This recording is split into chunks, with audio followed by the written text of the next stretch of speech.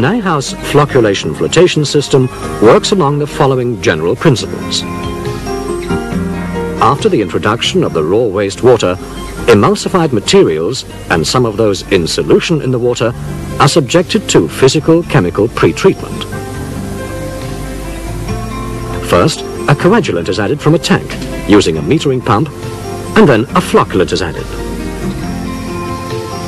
This makes the small dirt particles and oil more easily separable from water.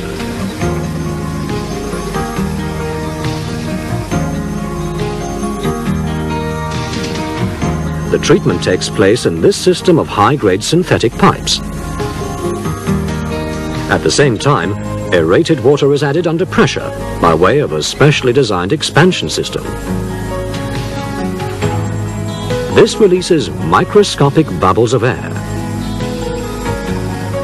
The tiny air bubbles attach themselves to the particles suspended in the water and carry them upwards in the flotation unit to the layer of sludge at the surface.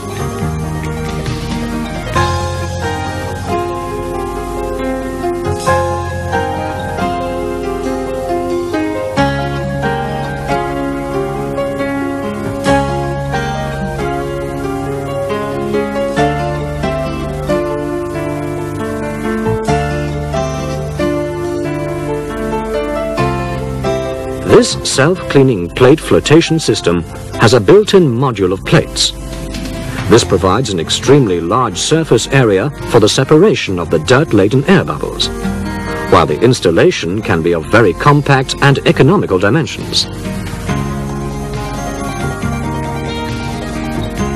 Nijhuis Water has developed a special concentration and removal system for maximum dehydration of the floating layer.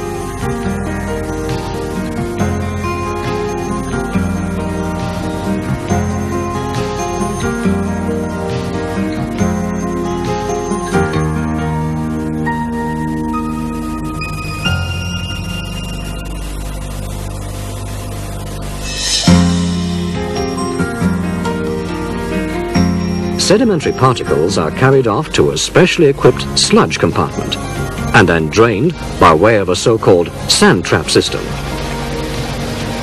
The same method also applies with open systems.